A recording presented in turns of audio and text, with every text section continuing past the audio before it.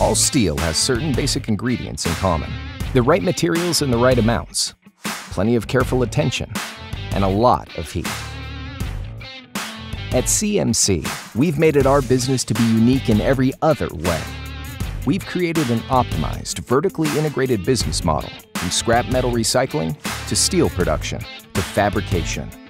Our model streamlines both sides of the process, allowing us to locally source low-cost raw material and efficiently deliver finished products to our customers.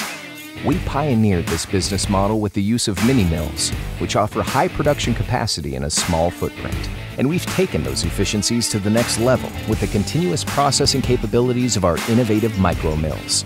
It's all powered by electric arc furnaces, which are over six times more energy efficient than conventional blast furnaces. We promote a culture that demonstrates a commitment to safety and empowers employees at work. It's led to higher productivity and earned us a top spot in customer satisfaction for domestic steel mills. It has also led to product innovations like spooled rebar, which have helped make us the leading producer of rebar in the United States. We've built something we can all be proud of. It's bigger than a stadium, tougher than an armored Humvee, and more promising than the open road.